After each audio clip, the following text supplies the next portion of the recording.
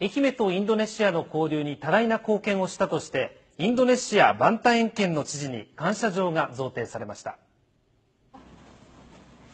愛媛インドネシア友好協会の事務局がある愛媛大学を訪れたのはインドネシア共和国南スラウェシ州バンタエン県のヌルディン・アブドゥラ知事です。